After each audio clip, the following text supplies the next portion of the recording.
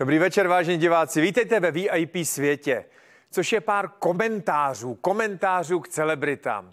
Dřív tenhle pořad byl takový mix komentářů a novinek.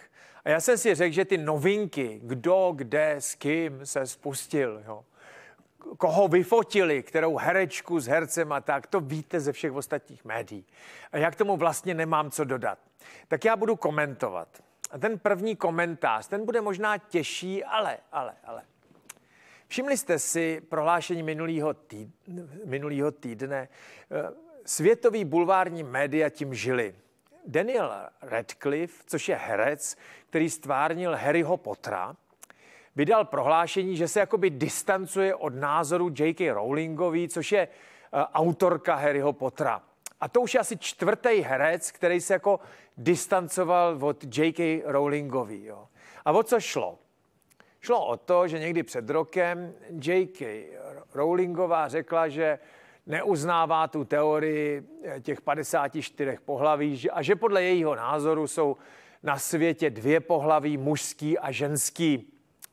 A vydala k tomu pár podobných prohlášení. Helejte, nic drastického. Žádný to, že židi jsou zlo, nebo že černoši by neměli účinkovat ve filmech a takový. To jsou takový ty spolehlivý sebevraždy rasistů a podobně, jako sebevraždy mediální, jo, rasistů, který by opravňovali nějak se od ní distancovat. Ona jenom řekla, že si myslí, že jsou dvě pohlaví a že ty, že ty kampaň za 50 pohlaví a, a, a, a transgender lidi, kteří můžou v průběhu života měnit pohlaví sem a tam podle toho, jak zrovna mají jako náladu, že se jí nelíbí. To jsem jako přehnal, ale zhruba v, v tomto, jo, takhle eh, ten spor zněl. Jo.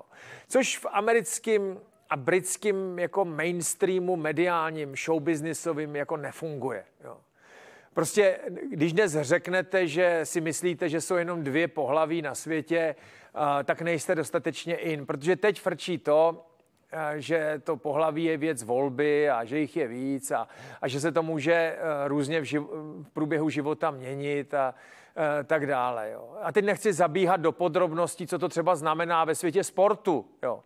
I dokonce se teda teď říká, že se udělá zvláštní kategorie transgender sportovců. Jo.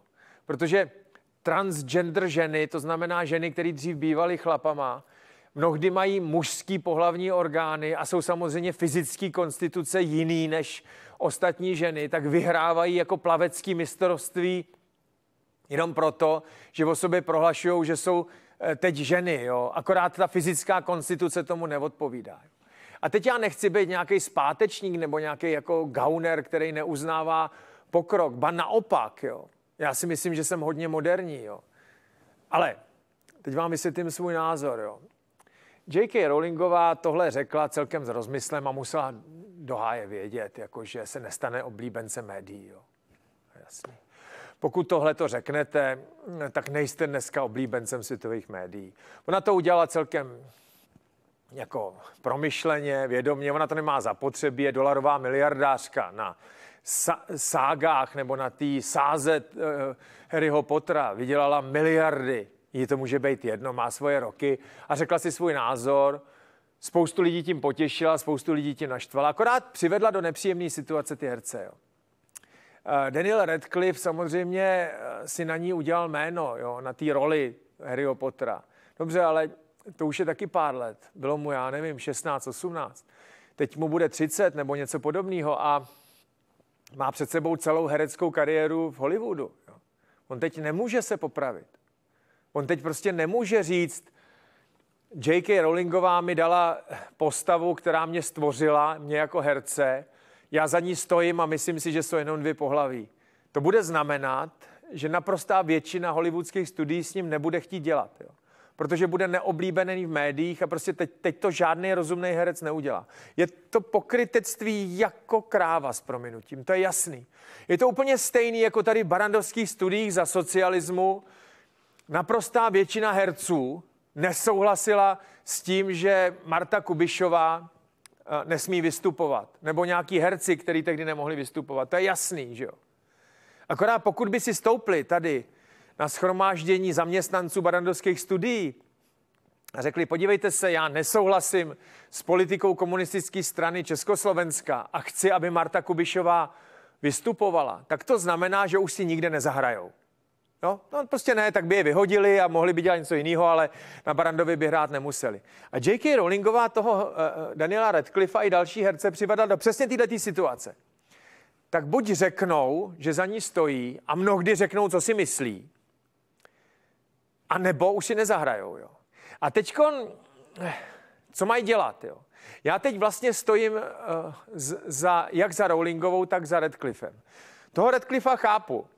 Kdyby, kdyby ji podpořil, tak si nejmín 10 let ani neškrtne. A má před sebou ty nejlepší herecké roky, jo. tak chápu jeho rozhodnutí. Jo. Za Rowlingovou taky stojím, protože si opravdu myslím, že jsou na světě dvě pohlaví. Jo, jo jsou mužský a ženský. Samozřejmě, že jsou transgender lidi, ale že by si někdo mohl měnit pohlaví podle toho, jak se zrovna vyspí, úplná hovadina. Uh, jasně, ještě k tomu já podporuji manželství pro všechny. Ano. Jsem zastáncem rovných práv gayů a lesbiček uh, v manželství uh, s heterosexuální po, populací. Vůbec nerozlišuju, jestli je někdo gay nebo není. Mně je to úplně jedno a vůbec mě to nezajímá, se přiznám. Myslím si, že jsem moderní, ale pohlaví jsou jenom dvě Akorát, kdybych byl v Hollywoodu jo, a byl herec, by si říkal, no, já se k tomu radši nebudu vyjadřovat, protože bych chtěl zůstat hercem. A teď co z toho plyne pro nás? Jo? U nás to není takhle vyhrocený. Viděli jsme vyhrocenou kampaň mýtů v Americe. To bylo vlastně to samé. Uh, ta kampaň byla správně v zásadě. Šlo o rovnoprávnost žen o to, aby ženy nemohly být ponižovány jenom proto, že jsou ženy. Akorát se to zvrhlo do absurdních debilit. Jo. Že si paní, kterou před 40 lety údajně šáli na koleno nebo na zadek, vzpomněla, že jí to hrozně ponížilo a média a ta hollywoodská společnost, ta New Yorkská společnost. A teď, počkejte, já mám pronajatý byt v New Yorku, já Ameriku znám, já Ameri- anglicky mluvím dobře, já čtu am- anglický média, americký média, dívám se na americké filmy v originále, sleduju zprávy eh, americký na kabelové televizi. Když jsem v Americe, já jsem tam nejmín desetkrát ročně. Strávil jsem tam možná dva roky svého života. Takže já Ameriku znám. Znám New York jako svý boty. Upřímně řečeno, New Yorkské ulice a New Yorkské čtvrti pravděpodobná, pravděpodobně znám lépe než pražský. Jo. Protože jsem v nich prochodil daleko víc kilometrů. Jako turista, jako člověk, který se okolo sebe rozhlíží, v Praze žiju a v Praze pracuju. To je něco jiného. Jezdíte z práce do, do domů a z domova do obchodu a z obchodu e, zpátky domů a nemáte moc času e, nacházet pražský zákoutí. Jo. New Yorkských zákoutí jsem objevil hodně. Takže Ameriku respektu, ale jsou to ukrutní pokrytci, jo, ukrutní pokrytci. Byli schopní, uh, New Yorkská smetánka a hollywoodská smetánka byli schopní popravit 85-letého režiséra, protože nějaká paní si vzpomněla, že před 40 lety šách na prdel, jo. A ten člověk pak po, tře, po třech nebo čtyřech letech umřel v zapomnění a v podstatě zastuzen, aniž by se mohl bránit, protože jak chcete prokázat, že jste paní nešách na prdel. To jste mohl akorát říct to, že paní byla tak hnusná, že byste na ní nešách a tím byste se zabil úplně, že jo? No. A tohle to, co se tam děje teď, ehm, je podobný. A u nás to takhle nebylo, ale nebylo. Víte, můžete dneska říct, když chcete být v Praze herec, že Jiří Bartoška je vůl, nebo Ivan Trojan je vůl, nemůžete. Když to uděláte, tak se dostanete do úplně stejné pozice jako Daniel Radcliffe. A tím nechci říct, že Jiří Bartoška nebo Ivan Trojan je vůl. To jsou ale vládci a nepsaný ikony českého filmu a televize. A pokud to uděláte, tak všichni ti, kteří jsou na nich závislí, všichni, všech, celá ta jejich komunita vás znenávidí. A pokud vás znenávidí komunita Jiřího Bartošky a Ivana Trojana, tak jste v Praze ve filmu a v televizi skončili. Což eh, nemusí být tragédie, jo, ale může to být tragédie a pro někoho, kdo eh, jako chce být v Praze hercem, že jo.